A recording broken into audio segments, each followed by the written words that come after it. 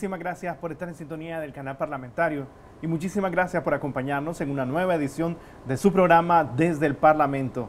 Hoy un tema que nos incumbe a todos como humanidad, pero también dentro de un proceso integral de desarrollo que experimenta el pueblo nicaragüense. Hoy estaremos conociendo cuáles serán esas actividades que se estarán desarrollando en el marco del Día Internacional de la Madre Tierra. Uno de los ejes de trabajo del Gobierno de Reconciliación y Unidad Nacional ha sido precisamente reconocer a este capítulo de la humanidad, porque es parte también de nuestro desarrollo. Pues para hablar de este tema se encuentra con nosotros la compañera Sumaya Castillo, quien es ministra del Ministerio de los Recursos Naturales Marena, y junto a ella también nos acompaña la compañera Indiana Fuentes, codirectora del INAFOR. A ambas bienvenidas, muchísimas gracias por estar con nosotros. Sí, buenos días, muchas gracias por la invitación. A propósito de la compañera Indiana también, ¿no? De cumpleaños, felicidades compañera, muchísimas gracias. muchas gracias. Bueno, pues conocer un poquito, ¿no? Lo que significa este proceso de festejo en el marco de restitución de derechos desde el año 2007, pero también en el entendido global que eh, empieza a establecer el Gobierno de Reconciliación y Unidad Nacional, aprovechamiento razonable, uso, cuido, preservación. ¿Cómo entendemos estos ejes de trabajo? Compañera Sumaya, bienvenida. Sí, bueno, muchas gracias, Indiana, feliz cumpleaños. Pues el día de hoy, este, como venimos hablando, ¿verdad? Eh, el Día Internacional de la Madre Tierra para nosotros es el día a día, es cada día, es cada actividad es cada estrategia que nuestro comandante Daniel y la compañera Rosario viene implementando desde el año 2007. Eh, si bien es cierto, estamos a 11 años, eh, ahorita el 22 de abril de que Naciones Unidas eh, declaró este día como el Día Internacional de nuestra Madre Tierra, nosotros venimos desarrollando una serie de estrategias por el bien común y que somos un ejemplo de país, nuestro buen gobierno, nuestro comandante, un ejemplo al ascribirse también a la Declaratoria Universal del Bien Común y de nuestra Madre Tierra. Eso es muy importante y somos un ejemplo en el mundo. En cada momento que nosotros estamos haciendo intercambios de experiencia y cumpliendo con todos los compromisos internacionales, eh, en cada instancia nos reconocen esos esfuerzos y esas estrategias que están acertadas al tema de conservación y manejo sostenible y aprovechamiento sostenible de nuestros recursos naturales. Eh, sabemos de que venimos desarrollando estrategias que, están dirigidas a nuestro pueblo, porque eso es muy importante. El tema de la conservación no va a ser posible si nuestra gente no está ahí y si nuestra gente no ve también que es una alternativa conservar. Nosotros siempre vamos a estar eh, diciéndole a nuestra gente, si ustedes no miran de que es rentable estar conservando, ¿verdad? Entonces eh, no vamos a lograr esta conservación. Pero ahí es donde le venimos dando vuelta porque el comandante ha dicho, bueno, efectivamente, si no somos eh, abiertos y nos internamos con nuestra gente a ver qué es lo que siente nuestra gente, qué opina nuestra gente, ellos nos dan los elementos para nosotros ir implementando las estrategias e inclusive ir ajustándolas. Claro que sí, un proceso de integración al desarrollo, pero la inclusión de nuestro pueblo en todo este proceso. Compañera Indiana, entender un poquito lo que significa esta celebración en el marco ¿no? del entendimiento que ha sido un eje de trabajo del Gobierno de Reconciliación y Unidad Nacional desde el año 2007. Bienvenida. Sí, muchas gracias. Este, tenemos que destacar que este Día Internacional eh, de la Madre Tierra en Nicaragua lo celebramos todo el año, eh, porque hemos estado creando conciencia entre la ciudadanía y las políticas públicas como lo decía la compañera Sumaya, nosotros tenemos este, eh, dirigido y enfocado también para nuestro pueblo un sinnúmero de estrategias que nos permiten eh, tener ese equilibrio, el equilibrio entre la madre tierra, los recursos naturales y también el manejo que los humanos le damos a estos recursos naturales, ¿verdad?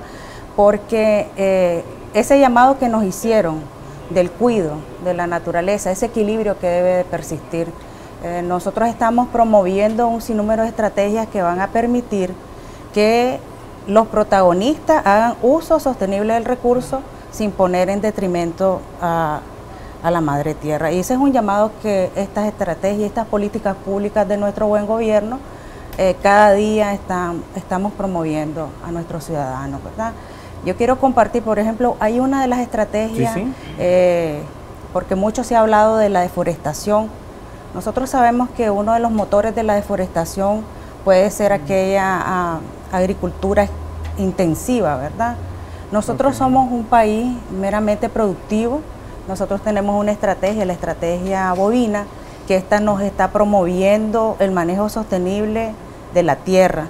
Y nosotros estamos trabajando, las dos instituciones estamos trabajando en esta estrategia en acompañar a nuestros productores eh, al establecimiento de buenas prácticas a través de los sistemas eh, silvopastoriles o agroforestales. Esto nos va a permitir también que la madre tierra eh, sea manejada adecuadamente y que nuestros productores no la presionen, ¿verdad? Okay. No la presionen. Eso es importante porque el, este día no es solamente celebrar, sino que eh, pedirle a nuestros protagonistas, a nuestro pueblo, que vaya cambiando eh, su forma eh, de cómo maneja los recursos naturales, sin, ponerlo, sin ponerle tanta presión, ¿verdad? Claro que sí.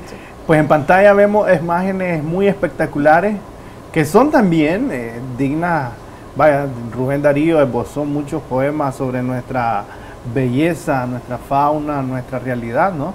Eh, conocer un poquito, compañera Sumaya, eh, la compañera indiana menciona un aspecto muy importante. De repente, y lo vemos en algunos eh, comunicados que emiten algunas organizaciones globales, bueno, hay que mantener una línea de aprovechamiento, que pero no hablan de la capacitación. Entendemos que desde el Maren y el INAFOR hay una vinculación real con los productores para enseñarles nuevas técnicas. Es correcto, y ya Indiana decía, bueno, aquí entra, como decimos, para que la gente se vaya dando un más o menos una fotografía, entramos en acción en conjunto, porque aquí hay un elemento muy importante, la formación de valores.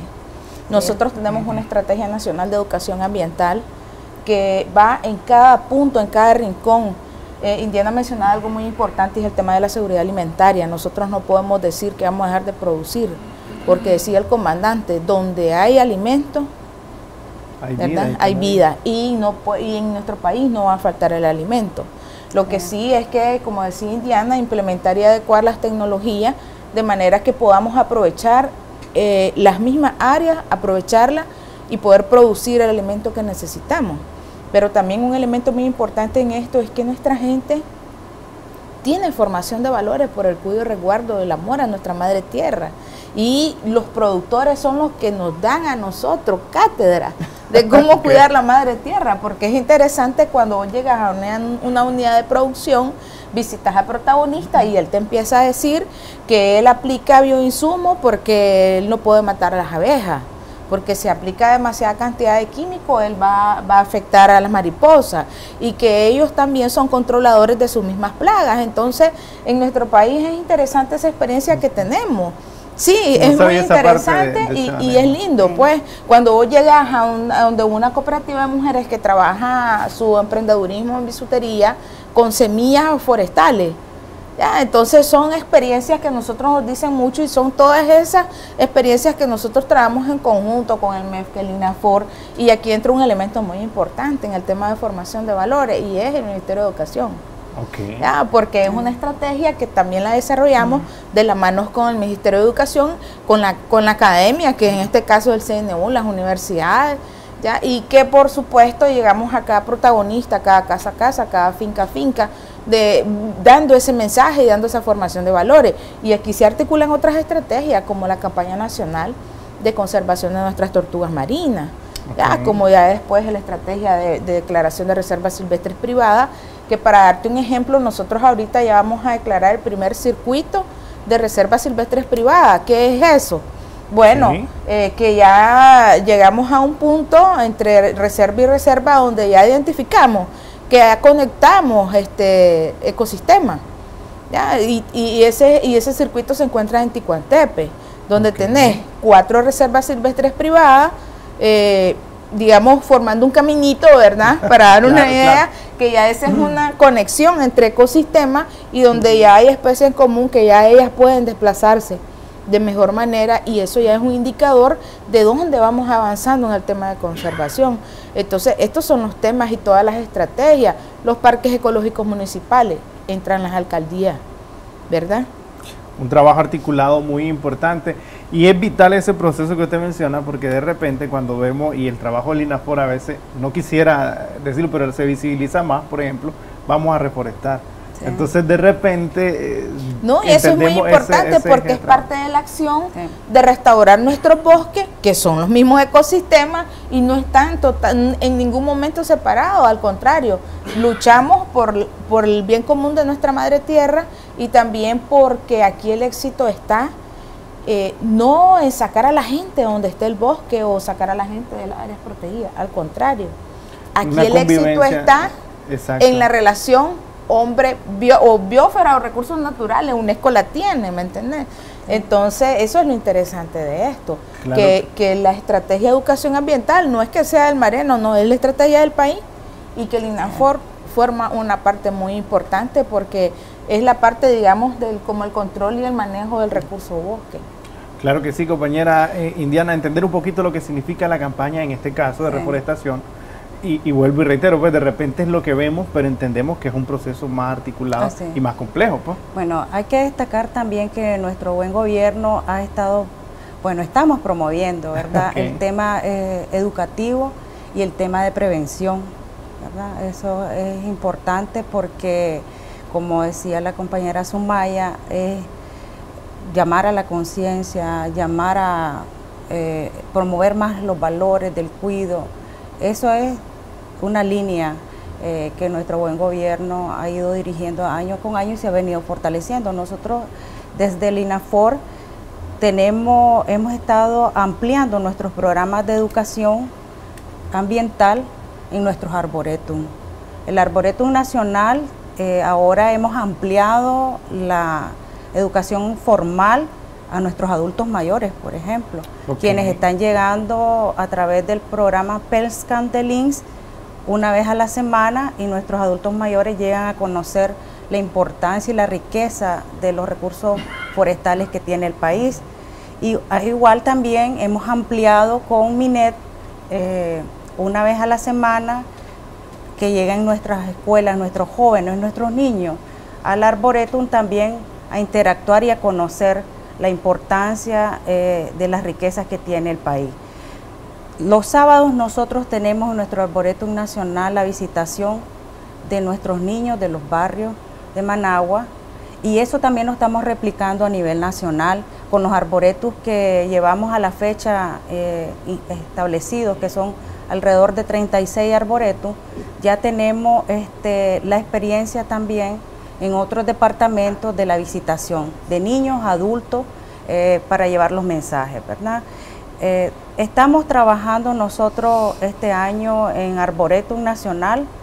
El día de hoy estamos en Bluefield, inaugurando el primer Arboretum Nacional Campos Azules.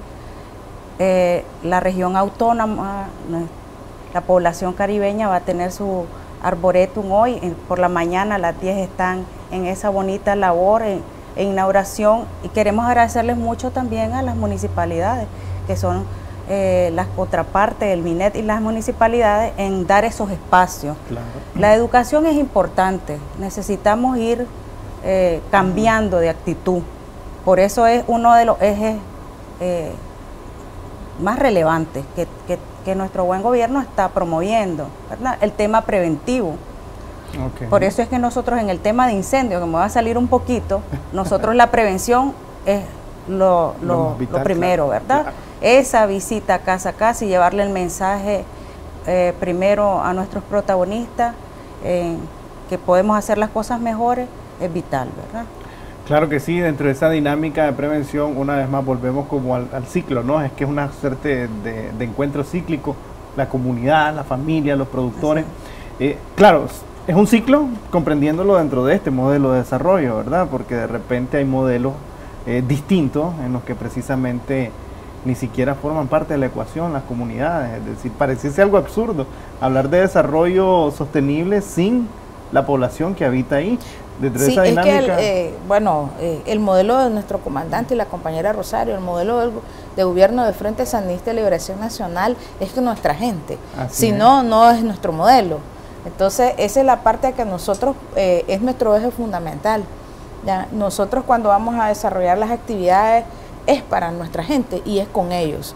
O sea, de las bases, si no formamos valores en nuestra base, en ese niño, en ese joven, e inclusive en, los hermanos de la tercera edad, ¿verdad? En esto es muy importante porque a sí, Indiana, cada lugar que nosotros desarrollamos, cada reserva silvestre privada, que ahí está una, uno, uno, un ejemplo de que nosotros no lo hacemos solo.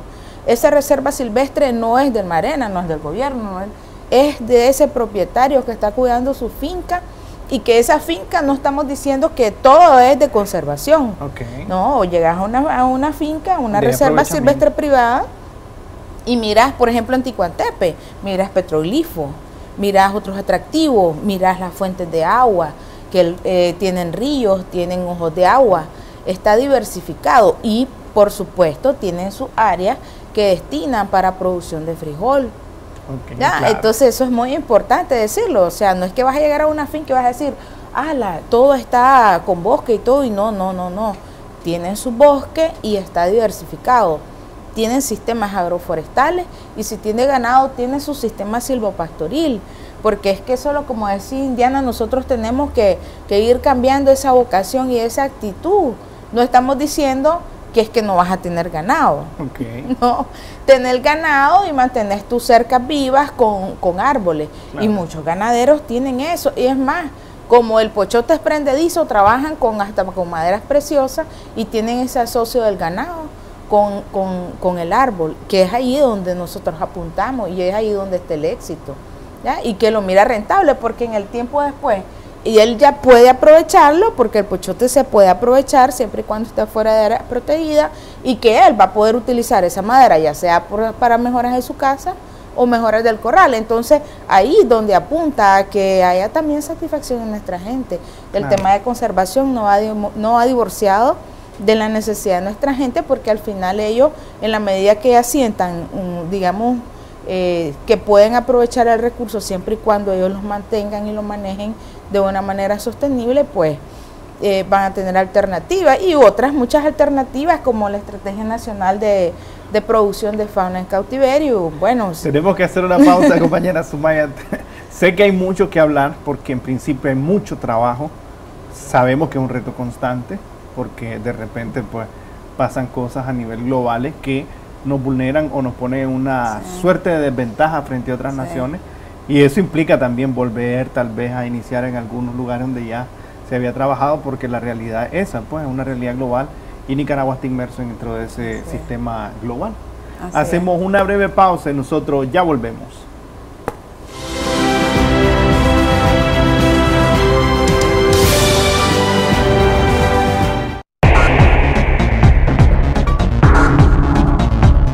Algunas personas infectadas pueden que no muestren ningún tipo de síntomas, mientras en otros los síntomas pueden ser de fatales a graves.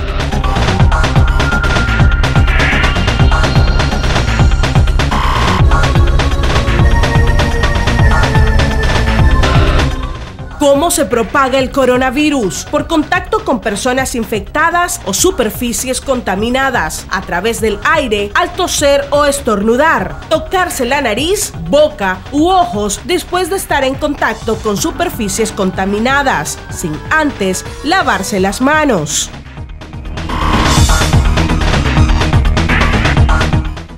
¿Cómo prevenir el contagio? 1. Lavarse las manos con frecuencia con agua y jabón o alcohol en gel. 2. Cubrirse al toser o estornudar. Taparse con el codo flexionado o con un pañuelo que posteriormente debe descartarse y lavarse las manos. 3. Recurrir al médico ante la aparición de fiebre, tos y dificultad para respirar. Y 4. Evitar lugares concurridos y cerrados.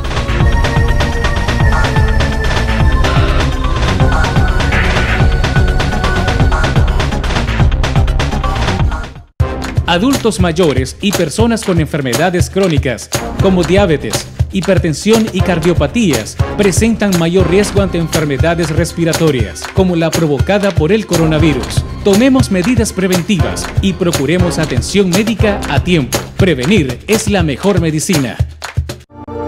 Lavarnos las manos previene múltiples enfermedades como la transmitida por el coronavirus. Las enfermedades respiratorias se propagan de persona a persona y al entrar en contacto con objetos contaminados. Lavemos nuestras manos frecuentemente con agua y jabón, frotemos correctamente nuestras manos por al menos 20 segundos, enjuaguemos y sequemos con una toalla limpia o desechable. Si presenta fiebre, tos o dificultad para respirar, busque atención de inmediato y no se automedique. Gobierno de Reconciliación y Unidad Nacional, Ministerio de Salud.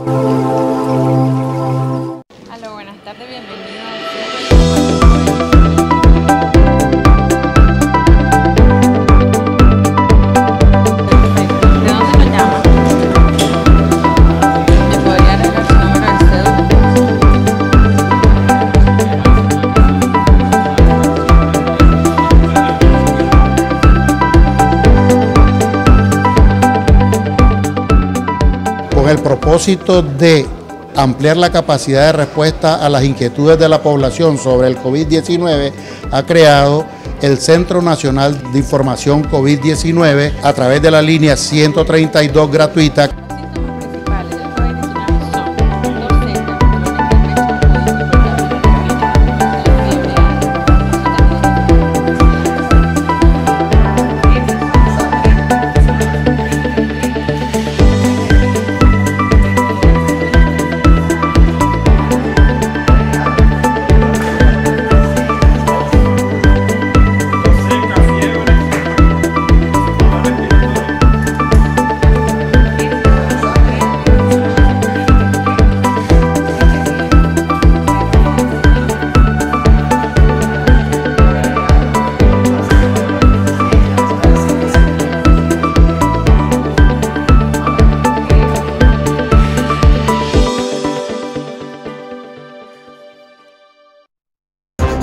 Para evitar las enfermedades respiratorias, como la provocada por el coronavirus. Mantengamos limpio el teléfono móvil y los objetos que más utilizamos. Prevenir es la mejor medicina.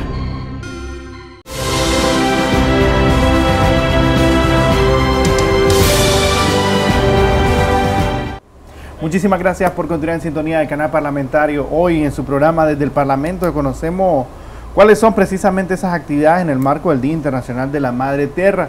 Para hablar de este tema, pues se encuentran con nosotros la compañera Sumaya Castillo, ministra del Manene, y junto a ella la compañera Indiana Fuentes, codirectora del INAFOR. Pues entender un poquito, compañera Indiana, lo que significa el proceso de integración de los movimientos sociales, de los, de los protagonistas de nuestro pueblo y la comunidad a esta campaña de reforestación. ¿Cómo se da este proceso? Bueno, tras de cámara entendíamos que es bien complejo y requiere de mucha coordinación. Sí, nosotros hemos estado, eh, destacamos año con año el, el, aumento de protagonistas que se suman a esta importante labor de reforestación. Para este año la Cruzada Nacional de Reforestación se ha puesto metas, tenemos 21 mil hectáreas que hay que reforestar en distintas modalidades, estamos hablando de plantaciones compactas, ya tenemos muchos protagonistas, eh, que están este, promoviendo plantaciones en su área, en sus fincas, en sus propiedades, pero también tenemos muchos protagonistas que están combinando eh, su actividad productiva con frutales, eh, forestales, eso es importante también, y también tenemos jóvenes, tenemos a las escuelas que se nos han sumado a la cruzada, estableciendo también en su área la reforestación y la participación masiva de las campañas también. Nosotros siempre estamos haciendo énfasis a nuestro modelo de fe, familia y comunidad, porque en el tema de reforestación necesitamos que nuestro país eh, amplíe la cobertura de bosque y estamos sumando esfuerzos con todos los protagonistas, desde los jóvenes, nuestras familias, nuestros productores y los privados. Eh, para esto, en este momento estamos en etapa del establecimiento de viveros, estamos tenemos una meta de 18 millones de plantas y cantidad de protagonistas se nos han sumado a establecer estos viveros, entre ellos también los jóvenes. Tenemos un plan con el movimiento ambientalista Guardabarranco que nos van a apoyar a nivel nacional, van a participar con nosotros eh, en el llenado de bolsas. Pareciera sencillo, ¿verdad? Pero llenar 18 millones de bolsas con sustrato y sí, un poquito más y semilla, es un trabajo arduo y los muchachos están eh, entusiasmados porque van a acompañar a, a, la institución, van a acompañar a las escuelas, van a acompañar a protagonistas inclusive al llenado de bolsas, ¿verdad? Para prepararnos en el mes de junio al, a plantar la plantita, ¿verdad? A plantar el arbolito. Sí, estamos en la primera fase, estamos en ahorita sumando esfuerzos con muchos protagonistas, tenemos como meta más de 1.200 protagonistas que van a establecer viveros. Yo quiero agradecerle al ejército de Nicaragua porque ellos se nos han sumado y tenemos viveros. Ahorita tenemos el establecimiento de, bolsas de más eh, de medio millón en cada unidad militar. Eso es bonito también porque el ejército está contribuyendo bastante también en el tema de, la producción de plantas. Lo otro es que nosotros estamos dándole a los protagonistas este, la bolsita y estamos también apoyándolos con la semilla de calidad forestal. Ok. Eh, ¿Y cuán importante este proceso, compañera Sumaya? Pues de repente entender esta explicación que nos da la compañera Indiana bueno, en principio un reto bastante importante, ¿verdad? A continuación también un reto más que ha surgido a partir de esas fake news que tratan de, visibilizar a veces. Bueno, pareciese cuando vemos esas noticias que está incendiado todo el país, de repente con esos puntos de calor, ¿cómo marchamos en esos eh, procesos bueno, en esto es muy importante hablar de que em, podemos ser muy radical, pero es, bueno, ahorita que hablaste de la fake news, Diana decía un dato que, que que para nuestro gobierno, el, único gobierno de nuestro país que viene desarrollando una campaña nacional de reforestación, ¿verdad? Y Indiana decía 18 millones de plantas, son 18 millones de seres vivos más que van a entrar a nuestra naturaleza y que es un ser vivo como que lo cuidas en el embarazo, después lo das a luz y cuando lo das a luz, que es cuando esa planta está lista para irla a sembrar, ahí viene el reto más grande ¿verdad? Porque es cuidarlo hasta que llegue a ser adulto, ¿verdad? Es un ser vivo más y eso es lo que nosotros a, nuestra gente le decimos. Ahora, ¿qué tenemos que hacer para que él llegue adulto? Cuidarlo de todos los agentes externos y uno de estos es el tema de los incendios. Ahora, los incendios, estamos en la temporada seca, ¿verdad? La temporada de verano donde por supuesto están todas las condiciones excelentes para que se pueda dar un evento como este. Pero aquí tenemos que ser muy responsables con la información, porque de repente empiezan a poner fake news en las redes y que esto es lo otro, que no es tanto cómo lo haces, sino lo que no haces para, para tener el derecho de hablar de que si se está dando o no un evento. Me refiero a que nosotros, yo siempre planteo, te has ensuciado las manos de tierra sembrando un árbol como para que vengas a destruir todo lo que venimos desarrollando, ¿verdad? Lo otro es de que eh, tenemos un sistema nacional de prevención y mitigación de, incendios forestales y agropecuarios, donde estamos todas las instituciones, las instituciones de gobierno, los bomberos, el ejército, la policía, INAFOR, el MAC, el sistema de producción, el INETER, ¿verdad? Y por supuesto liderado por el SINAPRED. ¿Por qué te digo, te, te explico y te digo todo este detalle? Porque al final nosotros también tenemos un sistema de monitoreo y seguimiento y que parte en el día a día con el reporte que genera el Ministerio del Ambiente a través del reporte de puntos de calor. Este reporte de puntos de calor los tenemos tanto en la mañana como por la tarde. Entonces, cuando ese sistema te genera los puntos de calor, que tiene sus rangos, sus valores para poder decir si efectivamente este punto de calor es un probable incendio. ¿Ya? Porque de repente yo puedo estar quemando la basurita que barro en la mañana y yo no puedo decir que ese es un punto de calor o es un incendio, ¿me entendés? Porque al final, cuando se genera este punto de calor, entramos en acción en el territorio, las instituciones, a verificar ese punto de calor. Entonces, si cae un punto de calor de Bluefield buscando indio maíz, nosotros nos hacemos la comisión y vamos al punto a ver si efectivamente es o no es un incendio.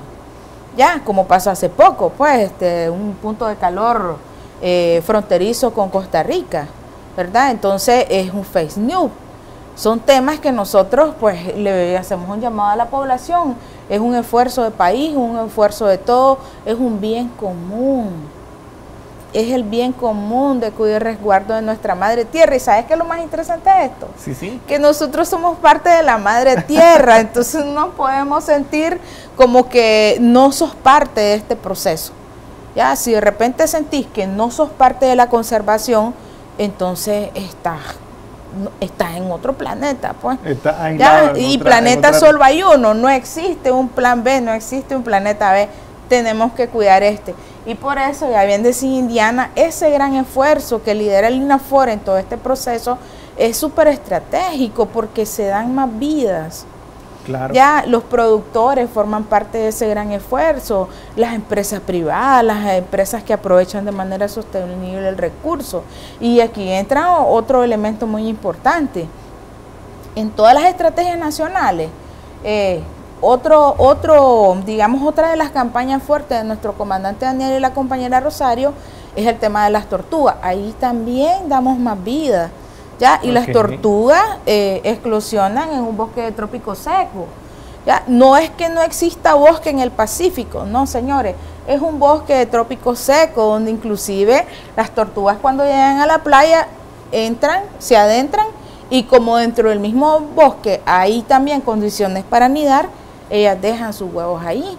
Y decía también, hablábamos del movimiento ambientalista Guardabarranco, es parte de la sociedad civil, así como otras organizaciones como Florifan Internacional, como los mismos dueños de hoteles que están en las costas. Ya, porque este es un tema de responsabilidad compartida y donde los mismos dueños de hoteles o de propiedades que están cercanos a estas playas de anidación, que por gracia de Dios somos bendecidos. Tenemos cinco playas de anidación de tortugas con especies que no anidan en otros países como la tortuga carey, la tora, la torita, la paslama. Entonces, eh, ese es un ejemplo. Y miras al ejército. El ejército es uno de los más, eh, sí, de, en formación de valores. A nosotros, las instituciones, en la forma arena, capacita al ejército, pero vos llegas a los refugios de las tortugas, por ejemplo. Sí, sí. Y en la temporada de los ocho meses, que es de junio, julio hasta febrero, ¿verdad? Son ocho meses donde está la arribada masiva de las tortugas. Entonces, en esos ocho meses tenemos a nuestros hermanos de la policía, en esos ocho meses, pero también el ejército, además que el ejército pasa los 12 meses del año, ¿ya? Pero en el periodo masivo, que es donde necesita mayor resguardo, están ellos. Entonces, cuando llegas a los refugios, mira, es una maravilla. Los, los hermanos del ejército y la policía, ellos manejan todo el proceso cómo se hace el proceso de resguardo de esta especie. De la especie y por supuesto del área protegida como tal, ¿verdad? Porque es un conjunto. Pero es, lindo cuando vos llegás y ya los refugios tienen otras condiciones. Pues ya, ya el chacocente vos llegás y puedes quedarte a dormir. Hace, hace 13 años atrás eso no existía. Chacocente era un sitio totalmente olvidado, olvidado completamente, igual el refugio de la flor olvidado. Ahora vos llegas a esos refugios y, es una maravilla. Eh, Chacocente tenés condiciones para un auditorio para capacitar, cabañas para estarte ahí días, pues, si, si gustas. Este, eh, ya tiene viveros eh, capacitados con las distintas etapas para la producción del huevo, para desarrollar las investigaciones. Entonces, es, es, una belleza, pues. senderos con condiciones para que puedan ir nuestros nuestros este, hermanos de la tercera edad. Ya, porque todo, todo, eso tenés que estar pensando. Ah, por supuesto. Entonces, y hablamos de alternativas basadas en la naturaleza.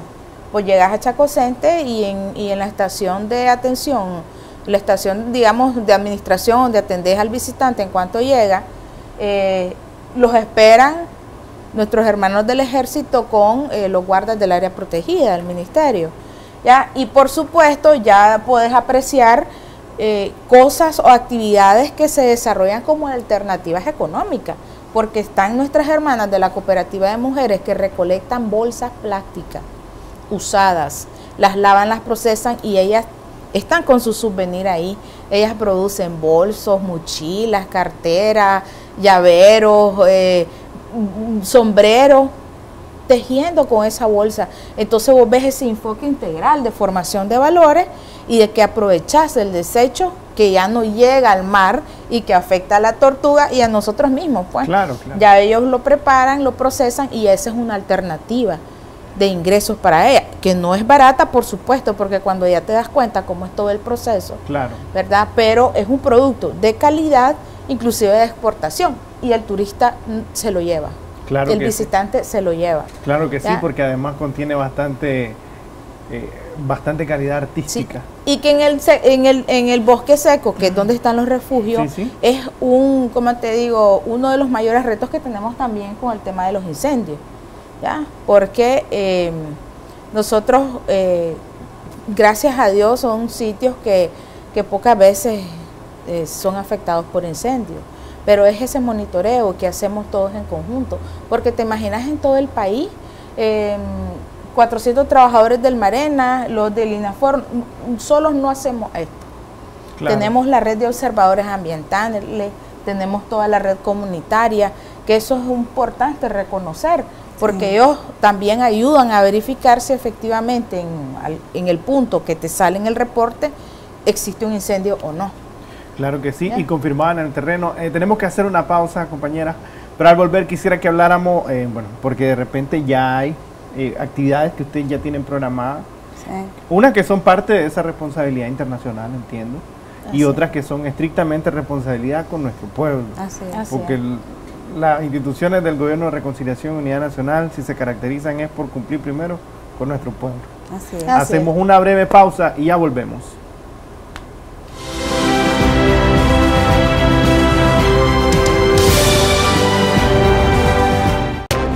Al toser o estornudar, cubrite la boca con el antebrazo o con un pañuelo, preferiblemente desechable.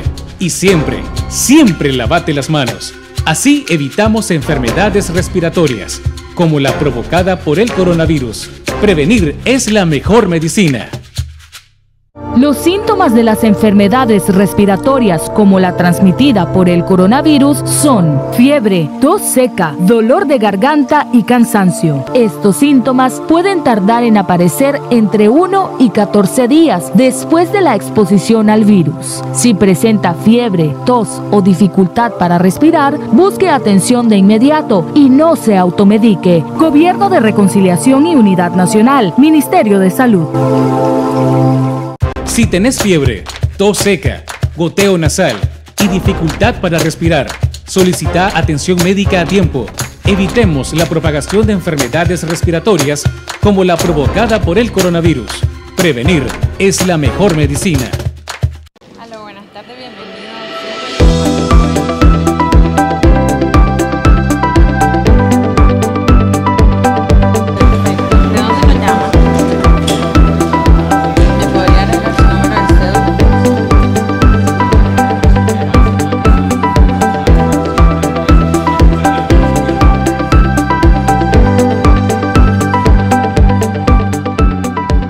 El propósito de ampliar la capacidad de respuesta a las inquietudes de la población sobre el COVID-19, ha creado el Centro Nacional de Información COVID-19 a través de la línea 132 gratuita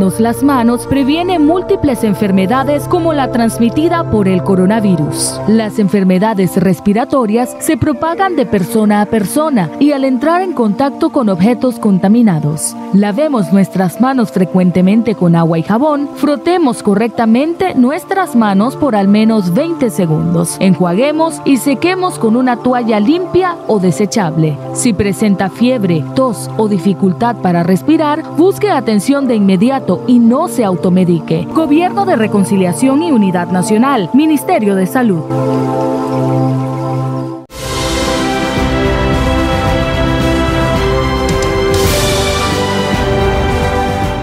Muchísimas gracias por continuar en sintonía del canal parlamentario. Muchísimas gracias por continuar acompañándonos en su programa desde el Parlamento. Con nosotros la compañera Sumaya Castillo, ministra de Marena, y junto a ella nos acompaña la compañera Indiana Fuentes, codirectora del INAFOR. Ambas nos explican, en principio, los ejes de trabajo emprendidos por el Gobierno de Reconciliación y Unidad Nacional de cara a la preservación, conservación, aprovechamiento de la madre naturaleza, los recursos, ¿no? En armonía con el desarrollo humano de nuestro pueblo. Entender un poquito, compañera Indiana, algún ciclo de trabajo que vengan desarrollando a partir de eh, estas festividades, ¿no? El Día Internacional de la Madre Tierra. Sí, este, eh, nosotros tenemos una estrategia de forestería comunitaria. Estamos haciendo eh, encuentros interdepartamentales y el día 22, en celebración al Día Internacional, vamos a estar en Madrid con protagonistas de Estelí, Nueva Segovia y Madrid. Ahí vamos a, compartir toda la experiencia del tema de forestería comunitaria, porque uno de los ejes también que nuestro buen gobierno ha estado promoviendo eh, es el tema del emprendedurismo, el tema de la economía familiar, el fortalecimiento de la economía familiar, pues vamos a trabajar con protagonistas que dependen directamente del bosque, que es lo que ha venido promoviendo la forestería comunitaria. Eh, también hacer énfasis de que queremos eh, integrar a estos protagonistas también al tema de incentivos. El INAFOR cuenta con el Fondo Nacional de Desarrollo Forestal, que es un fondo eh, que se alimenta con recursos del Tesoro, pero además se alimenta con recursos que nosotros recaudamos en el tema de permisología por aprovechamiento sostenible del recurso forestal, por las multas y los decomisos, aquellos que no se portan bien, ¿verdad? Y que se ven este, implicados en un proceso administrativo y se les ha establecido una multa, pues este fondo se viene alimentando con esos recursos y queremos devolverlos a los protagonistas, compensándolos también por la importante labor que hacen de cuidar también el recurso natural. ¿verdad? Pues estamos trabajando el 22 que vamos a estar, el día de hoy que vamos a estar en Bluefield con la inauguración del Arboretum, Campos Azules. Vamos a iniciar también el día de mañana la visitación a nuestros productores eh, casa a casa, también llevándoles un boletín sobre el establecimiento de prácticas silvopastoriles. Eh, estamos promoviendo nosotros alrededor de ocho especies forestales para que se establezcan en 50 mil productores que van a ser beneficiados con el programa de inseminación este, artificial, pero nosotros estamos hablando también de que los vamos a acompañar para que cuenten con un modelo de finca más sostenible y vamos a dar las plantas. Tenemos alrededor de 50 mil protagonistas donde vamos a entregar 90 plantas de distintas especies que van a servir como alimento eh, para el ganado, eh, también para establecerlas en cercas vivas, que tengan también ese importante eh, valor comercial, económico para la familia, para sombra, alimento, ¿verdad? Es decir, vamos a promover un sinnúmero de acciones, pues vamos a visitar, tenemos como meta visitar 300 mil este, productores, ¿verdad? Pues toda la semana vamos a dedicar también a la a los talleres de viveros, el establecimiento de viveros, porque esa es una tarea que no terminamos hasta el mes de junio, eh, y lo de los jóvenes, ¿verdad? La participación de los jóvenes. Para nosotros es importante esa labor educativa. Nuestros arboretum, que vamos a tener en esta semana la visita del adulto mayor, el día miércoles, el día sábado que tenemos a nuestros niños, es decir, un sinnúmero de actividades a nivel nacional.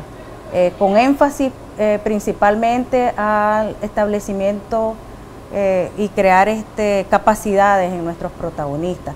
El día de hoy estamos en SINAPRED también como Comisión Nacional de Prevención y Control de Incendios porque vamos a hacer una valoración de aquellos sitios donde hubo quemas o incendios forestales que han sido recurrentes.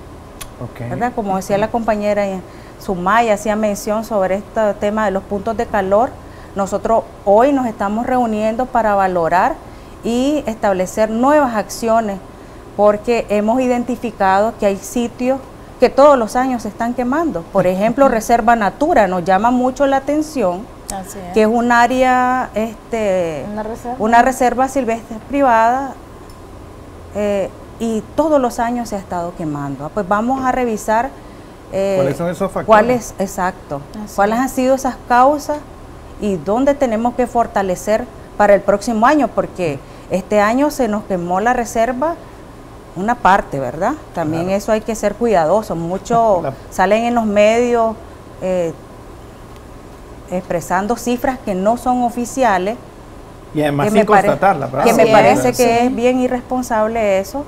Y nosotros estamos valorando. ¿Por qué? Porque la Comisión Nacional de Prevención y Control de Incendios se reúne semanal. Todos los jueves nos reunimos para analizar las incidencias de quema e incendio eh, ver las causas, valorar cuántas personas participaron y, en qué necesitamos fortalecer. ¿Qué más necesitamos fortalecer, verdad? Porque hay áreas donde no hay agua, hay que ver cómo llevamos el agua. Muchos no se preguntan eso. ¿Qué otras técnicas estamos utilizando para apagar fuego, por ejemplo, en los pinares? Ok. ¿Verdad? Pues nosotros estamos haciendo una valoración que ha ocurrido en sitios que históricamente se están quemando todos los años. ¿Qué pasa con el dueño de la propiedad si ha estado estableciendo sus medidas? ¿Y en qué cosas podemos fortalecer nuestro plan el próximo año, verdad? Eh, estamos haciendo ese ejercicio el día de hoy, eso para nosotros tiene que ser de relevancia porque nos va a permitir el próximo año hacer mayor énfasis en la estrategia de cómo atender el tema de incendio, ¿verdad? Como decía Sumaya, los puntos de calor Fácil es poner una imagen satelital donde hay muchos puntos de calor sin discriminar dónde están nuestras eh, cordilleras, dónde están nuestros eh, volcanes, Puede ser por un ejemplo, que están haciendo... donde está la línea de protagonistas que hacen ladrillo de, de, barro, por ejemplo, y utilizan bastante eh, leña. La rosquillería. Donde están las rosquillerías, donde están nuestros o Las, o las quemas que están autorizadas, porque... O nuestros eh, productores eh, ahorita trabajando la tierra con sus este, medidas, por ejemplo. Ah, pues, es como un poco irresponsable de pronto poner imágenes sin hacer el análisis adecuado, ¿verdad? Pues nosotros estamos haciendo ese ejercicio semanal y nosotros, el SINAPRED a través de la comisión valora eh, todas estas incidencias y ahí están las cifras este, oficiales a disposición del público, ¿verdad? Para que no nos dejemos engañar, porque de pronto dice se, se quemaron 200, 2000 hectáreas y no es cierto. Otra cosa que nosotros estamos haciendo y muchas protagonistas no lo saben, que una vez que ocurrió el incendio, después nos toca ir a valorar este, si hubo afectación o no del bosque. Porque nosotros hemos visto un comportamiento en los bosques de pinares. Se queman eh, el área, pero el árbol posiblemente no tuvo la afectación porque lo que se quemó fue la acícola, la hojarasca, ¿verdad? Pero no así el árbol. Evaluación del eh, daño. Exacto, evaluar el daño porque mucho se da de que sí, vamos a reconocer que eh, la regeneración se ve afectada, pero que el bosque en sí no, ¿verdad? Pues nosotros que queremos ser responsables también valorando y lo otro es que para la Cruzada Nacional de Reforestación hemos incluido eh, y hecho énfasis de que vamos a restaurar, a restaurar esas áreas también afectadas por incendios, ¿verdad? Pues tenemos toda una semana con muchas tareas y muchos compromisos y retos. Seguimos en la producción de plantas, los invitamos también a los protagonistas a sumarse a este bonito esfuerzo porque tenemos una tarea bien importante en el mes de julio, ¿verdad? Claro que sí, 18 millones, ¿no? 18 millones. Y un poquito más por las que no... Así es. logren germinar. Compañera Sumaya, ciclo sí, de trabajo. Indiana, Indiana hablaba un, un, tema muy importante y es, es que eh, eh, se han identificado en el tema de áreas protegidas que Sí. eh, se aniquiló el, el incendio y se vuelve a reactivar. Queda totalmente eh, apagado y se vuelve a reactivar. Entonces esos son los temas que se tienen que valorar. ¿verdad? El otro tema es eh, eh, hacer un llamado a la población, ¿verdad? A sumarse a este esfuerzo y no a restar, porque resulta de que se, se dan informaciones que, bueno, ahora con el manejo del Google uno busca imágenes similares y te encontrás con que la imagen corresponde a, a incendios de otros países, ni siquiera como las que utilizaron, por ejemplo, para el caso de Río San Juan que se estuvo hablando, correspondían a lugares de otros países, no eran de este. Ya, entonces, eh, y no, eh, son temas que, que por favor sumémonos a los, a los trabajos que estamos desarrollando, porque no hay peor cosa que se haga que, que restar y no sumar. Ahora, eh, el cuidado y resguardo de nuestra madre tierra, una vez más lo, te lo voy a decir, es nosotros somos parte de ella, no puedes sentirte como que sos un elemento fuera de ella, no, Claro. sos parte de ella y, y el lugar donde vivís, tu casa, tu comunidad, tu país, ¿verdad? Eh, sos parte de él. No puedes eh, decir que los compromisos internacionales no lo estamos cumpliendo y no lo estamos a- eh, asumiendo cuando el comandante Daniel ha sido un ejemplo a nivel mundial de este, asumir los, los acuerdos, en, los compromisos en el marco del Acuerdo de París. ¿Verdad? Que eso es un tema muy importante. importante porque nosotros al, al andar detrás de los incendios y con todas las estrategias, también es, es precisamente para no emitir mucho al tema del cambio climático. Y ese es uno de los procesos que ahorita estamos actualizando el número que nosotros como país contribuimos al tema del cambio climático. Entonces, para que tengamos una idea, Nicaragua emite el 0.03% de los gases de efecto invernadero a nivel mundial. 0.03%. Y eso es un dato que ahorita estamos actualizando. Eh, casualmente hoy estamos reunidos, por ejemplo, con el sector transporte. La semana pasada nos reunimos con el sector industrial, el sector energía, porque con cada uno de los sectores vamos a ir con los datos que tenemos actualizando todos los valores, lo que le llamamos nosotros nuestras NDC o nuestras contribuciones nacionalmente determinadas. ¿ya? Entonces, eso es uno de los acuerdos que tenemos con compromisos de país. Entonces, ese número te dice mucho. Nosotros no contribuimos tal, tal cantidad a- al, calentamiento, al cambio climático. Entonces, el tema de los incendios, el tema de reforestar, cada una de esas son todas las acciones que como país estamos implementando para cumplir a ese compromiso internacional, que es parte del cuidado y resguardo de nuestra madre tierra, y no es un discurso. Son acciones que se están haciendo y técnica y científicamente están respaldadas. Y otro de los procesos es la Estrategia Nacional de Deforestación Evitada, lo que le llamamos la Estrategia ENDE, que otro compromiso también como país a la reforestación y a la restauración de nuestros ecosistemas. Y ya después vienen el resto de estrategias, todo el cuidado y resguardo de nuestra fauna, eh, las reservas silvestres privadas, los parques ecológicos, eh, la estrategia tu biodiversidad es tu solución basada en la naturaleza, donde no podemos decir de que no se están haciendo acciones de conservación, al contrario, porque al reproducir vos una especie, por ejemplo la iguana y el garrobo, en un encierro, ya no vas a ir a pegarle fuego al bosque para sacar el garrobo.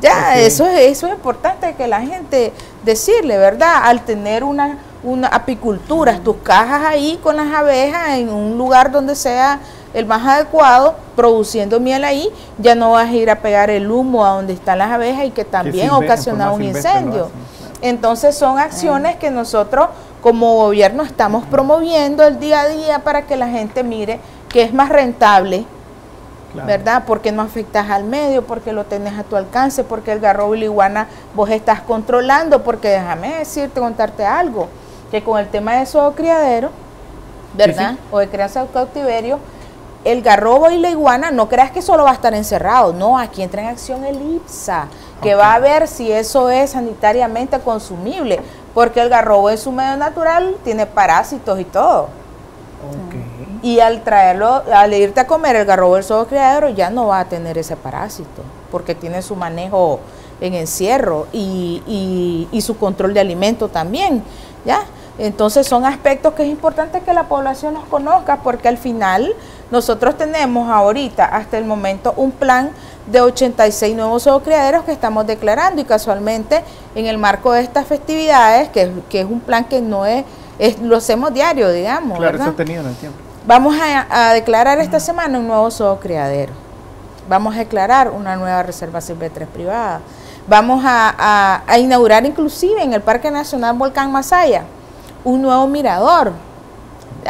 Ahorita que ya no le sentimos el sabor al, evento de Nick, ese evento de Nick, eh, Gualenda, en el Parque Nacional Volcán Masaya, nos posicionó y posicionó al volcán y, y, se reconoce, ¿verdad?, que en una área protegida, que está bien manejada, ¿verdad?, eh, se realicen este tipo de eventos. ¿verdad? Y era interesante cuando Canal 6 transmitía el día del evento de NIC porque daba datos que contribuyen a bajar al calentamiento global del mundo, ¿ya? Porque es un lugar donde está prácticamente un respiradero, ¿verdad? Donde se, se libera, ¿verdad? Ese, ese, esa temperatura. Entonces son temas muy importantes porque el miércoles nosotros en conmemoración al 22 eh, de abril, Día Internacional de Nuestra Madre Tierra, vamos a inaugurar este mirador Mirador el Nindirí, la ruta de Nick. Ok, ahí está ya con su ruta. Y el viernes, el mismo miércoles, vamos a tener un congreso internacional virtual. Ok. Ya, con un experto de, del Perú, con, con, con, nosotros le decimos el, Eduardo, el hermano Eduardo Calvo, porque él es un doctor, ¿verdad? Él ya nos ha estado acompañando, él es... Eh, el copresidente del panel intergubernamental de expertos ante el cambio climático y que son quienes respaldan cada dato que genera cada país en cuanto a los gases de efecto invernadero. Claro. Ya eh, vamos a estar desarrollando ese, ese congreso internacional virtual. Lo vamos a tener de manera virtual a él y también a un experto de Washington René Zamora, que también nos ha acompañado en algunas capacitaciones que hemos hecho en Bonanza, en el Caribe Norte, en el Centro de Capacitación eh, de Bonanza, en el Cicabo, con nuestros hermanos de las comunidades indígenas. Ya, entonces vamos a también el viernes, vamos a tener un Congreso Nacional con este eh, los protagonistas y exportadores, recicladores, en el tema de calidad ambiental, porque ellos en este sector hay una gran cantidad de, recicladores formales y no formales. ¿ya? Entonces, y los exportadores, que es el sector más formal. Entonces, vamos a estar con todos estos actores, con más de 80 protagonistas, donde vamos a estar desarrollando eh, ponencias, pero también planes de trabajo conjunto, ¿ya? Porque es un sector que podemos decirle que son los que manejan basura, sí, pero ahí hay plata, ¿ya? hay plata y que también esa parte del reciclaje y de la exportación de residuos eh, es, también es, inversión, ¿me entiendes? Claro. Entonces, y que a esta gente que no está formal, le tenés que dar alternativa, entonces ahí es donde apuntamos. Y el sábado vamos a desarrollar una capacitación con nuestros comunicadores en el tema de patrimonio natural, que eso es muy importante, ya lo hicimos eh, a finales del año pasado en tema de cambio climático, ahora vamos a fortalecer sus conocimientos en el tema de, patrimonio natural, ¿verdad? Claro, que sí, eh, pues de repente mucho trabajo, ¿no? Eh, entendemos que es parte también de la dinámica cotidiana de ambas instituciones, tanto el Marena como el INAFOR, al igual que las instituciones del Gobierno de Reconciliación y Unidad Nacional. Por ahora ya el tiempo nos ha alcanzado. Muchas gracias. no me resta más que agradecerles a ambas y a usted que está en su hogar. También muchísimas gracias por habernos acompañado a nombre de todo el equipo que hace posible la transmisión de su programa desde el Parlamento. Le invitamos a que se quede en fiel sintonía del canal parlamentario. El canal de la Asamblea Nacional estuvo con ustedes, Elmer Marcia, y les esperamos en una nueva edición.